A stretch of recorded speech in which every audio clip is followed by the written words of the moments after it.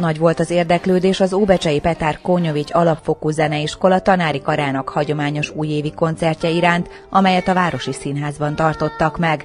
A 340 férőhelyes színházteremben pótszékeket kellett elhelyezni, hogy a 450 személyt számláló közönség minden tagja helyet foglalhasson. Az iskola tanárainak és tanulóinak közös fellépése igazi ünnepi hangulatot teremtett.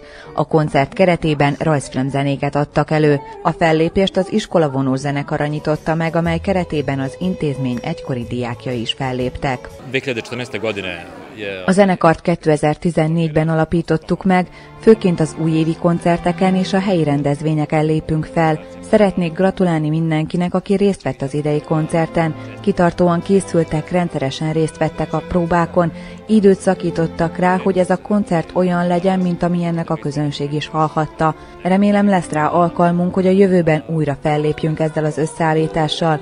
Kiemelném még azt a tényt is, hogy a tanulóink többnyire visszatérnek hozzánk. A zeneiskola befejezése után is szívesen részt vesznek a közös koncerteken.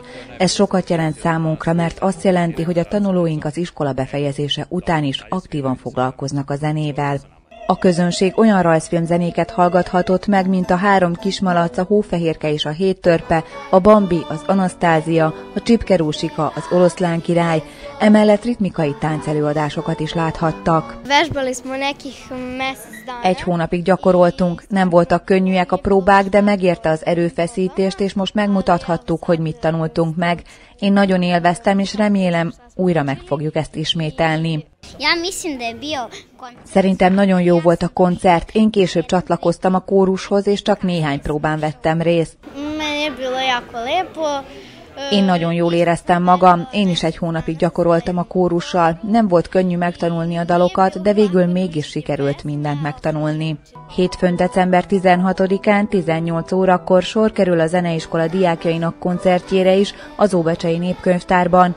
Mindezek mellett az intézmény zenei monográfiájának kiadását is tervezik, amelynek megírásán Deján Tomics a Vajdasági Rádió és Televízió nyugdíjazott zenei szerkesztője dolgozik. Valójában a monográfia már elkészült, még csak alakítani kell rajta. A kötet gazdagon van illusztrálva, ami azért is fontos, hogy azok, akik szereplői ennek a könyvnek, de azok is, akik csak kíváncsiságból veszik kézbe, felismerhessék a múlt nagy alakjait.